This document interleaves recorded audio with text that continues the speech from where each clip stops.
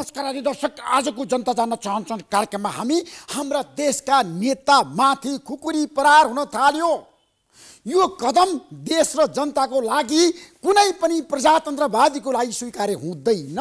यस्तो काम कसैले गर्नु हुँदैन। यो जघन्य अपराध हो।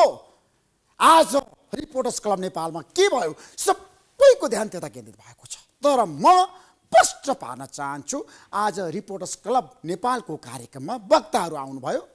नेपाली कङ्ग्रेसका सहमन्त्री महेन्द्र यादव राष्ट्रिय प्रजातन्त्र पार्टीका महामन्त्री धवल शमशेर जवरा र कुटनीतिज्ञ विजयकान्त कण आउनुभयो र उहाँहरूले नेपाल भारत सम्बन्धको बारेमा नेपाल चिन सम्बन्धको बारेमा चिनिया राजदूतको अभिव्यक्तिको बारेमा भ्रष्टाचारको बारेमा सरकारको बारेमा स्पष्ट रूपमा आफ्नो कुरा राख्नुभयो।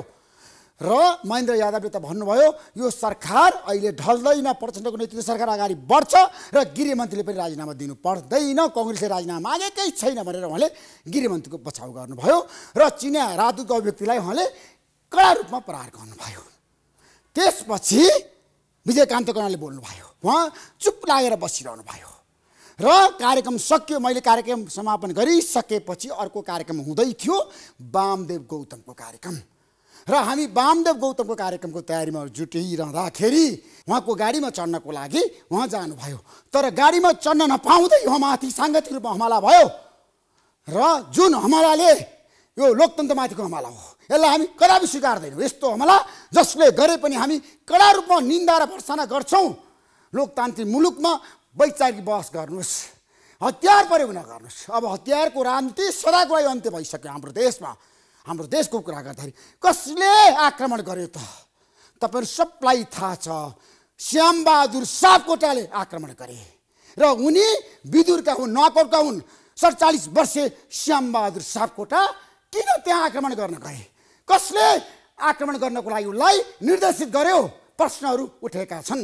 यो छानबिन हुनैपर्छ र सरकारले गम्भीर भएर छानबिन गर्नैपर्छ हाम्रो देशमा नेताहरूमाथिको यो आक्रमण दुर्लभै हो।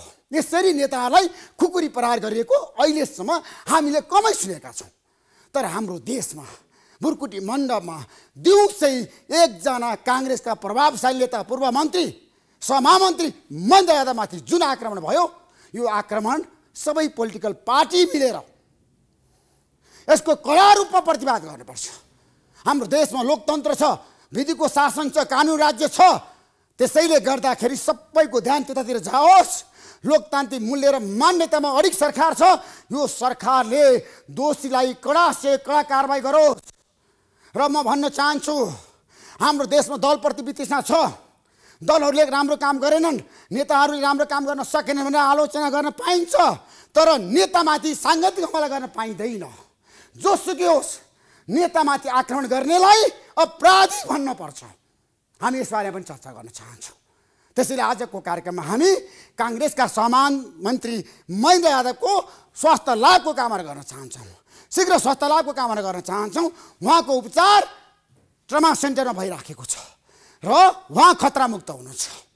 हामी यसबारे पनि चर्चा गर्न चाहन्छौँ र कङ्ग्रेस पार्टीले पनि कडा रूपमा निन्दा र भर्सना गरेको छ र दोषीलाई कारवाहीको माग गरेको छ भने नेपाल विद्यार्थी सङ्घले पनि आज देशभरि किन विरोध प्रदर्शन गरे त?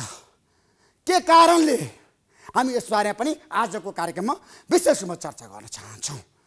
र आज हामी देशको कुरा गरिरहँदाखेरि जनताको कुरा गरिरहँदाखेरि समस्याको समाधानको कुरा गरिरहँदाखेरि अहिलेको अवस्थामा गृहमन्त्रीले साँच्चीकै शान्ति सुरक्षा दिन सफलता प्राप्त गर्न सक्नुभयो त प्रश्नहरू खडा भएका छन्। तर नेवी सङ्घले किन गृहमन्त्रीको राजीनामा माग्यो? शत्रु गठबन्धनकै एउटा भातृ सङ्गठनले अहिले गृहमन्त्रीको राजीनामा माग्नु उचित थियो? आजको कार्यक्रममा हामी यसबारेमा चर्चा गर्न चाहन्छौँ। त्यसरी साल जुलुस प्रदर्शन गरिरहँदाखेरि आज देशभरि साँझ नेवी सङ्घले गृहमन्त्रीको खुलेर राजीनामा मागेको छ। र कङ्ग्रेस सभापति शेरबहादुर देउवा पनि गृहमन्त्रीसँग असन्तुष्ट हुनुहुन्छ।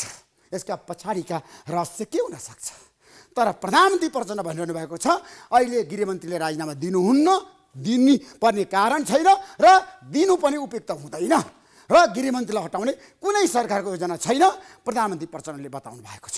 र आजै गृहमन्त्रीले भन्नुभएको छ मलाई हटाउन षड्यन्त्र भइरहेको छ तर कसैले मलाई हटाउन सक्दैन म राजीनामा दिन्न भनेर गृहमन्त्री स्वयंले भन्नुभएको छ। हामी यसबारे पनि चर्चा गर्न चाहन्छौँ। आज अन्य महत्त्वपूर्ण विषयवस्तु पनि छन् हामीसँग नभएको होइन। दिनभरि कहाँ कहाँ के के भयो ताजा हामी अपडेट गराउन चाहन्छौँ र टिआरसी विधेयकको बारेमा हामी चर्चा गर्न चाहन्छौँ। हाम्रो देशमा अझै पनि शान्ति प्रक्रिया निष्कर्षमा पुग्न सकेन। किन पुग्न सकेन? र प्रचण्डले यसपटक साहस गर्नुपर्छ हिम्मत गर्नुपर्छ शान्ति प्रक्रिया निष्कर्षमा पुर्याउनै पर्छ। र टिआरसी विधेयक टुङ्गोमा पुर्याएर मात्रै तपाईँ अमेरिका जानुहोस्। अनि अन्तर्राष्ट्रिय क्षेत्रले तपाईँलाई भन्ने छ नेपालको शान्ति प्रक्रिया निष्कर्षमा पुग्यो भनेर। द्वन्द्व पीडितलाई तपाईँले न्याय दिनै पर्छ। प्रधानमन्त्रीज्यू शान्ति प्रक्रिया निष्कर्षमा पुगेन भने अझै पनि तपाईँमाथि पनि प्रश्न उठ्न सक्छ। तपाईँ संयुक्त राष्ट्रसङ्घको साधारण सभामा भाग लिन अमेरिका जाँदै हुनुहुन्छ त्योभन्दा पहिले नै दलहरूको बिचमा एउटा सहमति खोज्नुहोस् र टिआरसी विधेयक टुङ्ग्याउनुहोस् संसदबाट पारित गराउनुहोस् अनि अमेरिका जानुहोस् चिन जानुहोस् जहाँसुकै जानुहोस्। हामी यसबारे पनि आजको कार्यक्रममा विशेष म चर्चा गर्न चाहन्छौँ। टिआरसी विधेयकमा के के छ त सच्याउनु पर्ने कुरा? एमालेको असहमति केमा छ? आज पनि तिनजना शीर्ष नेताहरू एकै ठाउँमा बसेर बहस गर्नुभएको छ।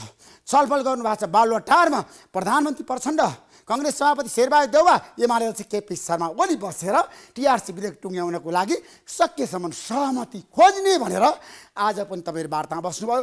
हिजो प्रधानमन्त्री र केपी शर्मा ओली वार्तामा बस्नुभयो तर पनि सहमति हुन सकेन। आज तिन दलका तिन नेता एकै ठाउँ बसेर सहमतिको प्रयास खोजिएको छ तर अझै पनि निष्कर्षमा पुग्न भने केही समस्याहरू देखिएको छ।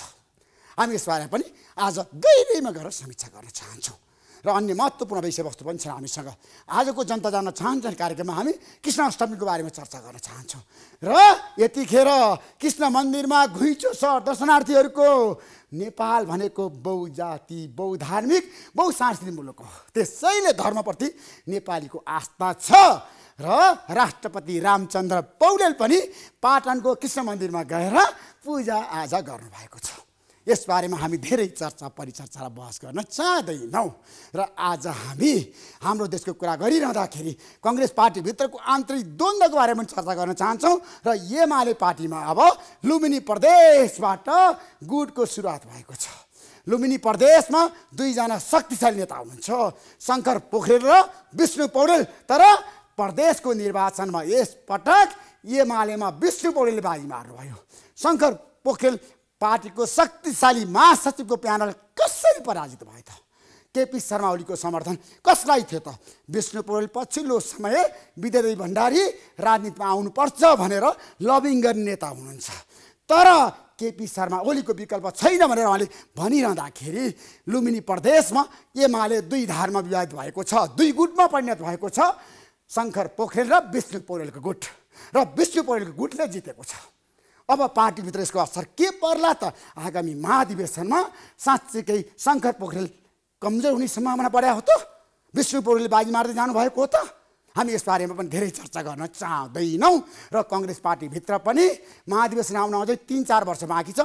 फेरि सभापति को बन्ने भन्ने चर्चा सुरु भएको छ। शशाङ्क कोइरालाले पनि दाबी गर्नुभएको छ। शेखर कोइरालाले पनि दाबी गर्नुभएको छ अहिलेदेखि नै। म संस्थापन पक्षको अध्यक्षको अथवा पार्टी सभापतिको उम्मेदवार हो भनेर साँच्चीकै कङ्ग्रेसमा अब कस्तो गठबन्धन बन्छ त्यो हेर्न बाँकी छ। म केही समयको बिचमा पछि आउनेछु